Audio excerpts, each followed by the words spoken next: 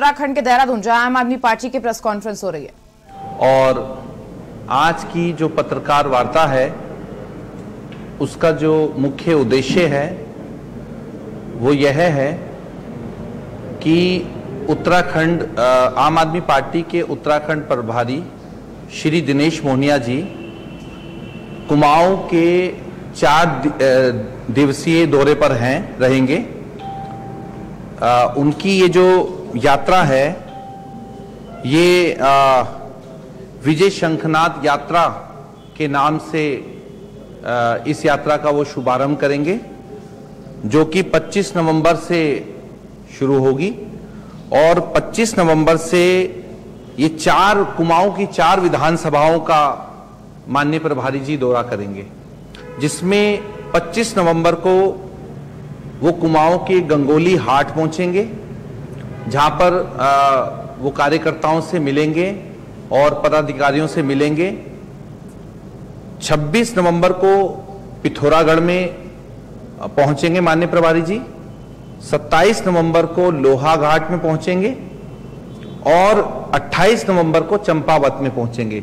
ये चार विधानसभाओं का वो दौरा करेंगे और इस दौरे के दौरान वो पदाधिकारियों से मुलाकात भी करेंगे और जो आगामी चुनावी रणनीति है उस पर चर्चा भी करेंगे।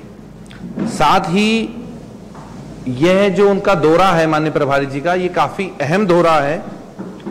और क्योंकि चुनाव भी अब बिल्कुल पास नज़दीक आ गए हैं इसलिए माननीय प्रभारी जी का ये जो दौरा है आ, ये चुनावी रणनीति को लेकर भी रहेगा और जिसमें पदाधिकारियों से बात करके आगे की रणनीति बनाएँगे। साथ ही अभी जैसा कि आप लोग जानते हैं माननीय अरविंद केजरीवाल जी और माननीय मनीष सिसोदिया जी का जो उत्तराखंड दौरा रहा है, उससे आम आदमी पार्टी के जो कार्यकर्ता हैं, उनमें खासा उत्साह है।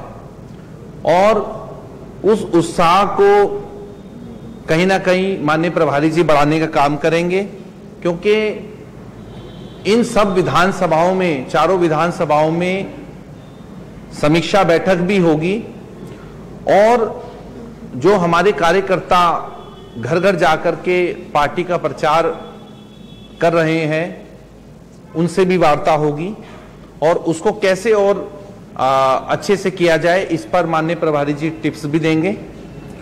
तो माननीय प्रभारी जी का ये जो दौरा है ये काफ़ी महत्वपूर्ण रहेगा। और कहीं ना कहीं ये कहा जा सकता है कि जो माननीय प्रभारी जी का ये दौरा है, ये चार विधानसभाओं को लेकर के, खासकर कुमाऊं को लेकर के फोकस है और कुमाऊं तो अभी आपने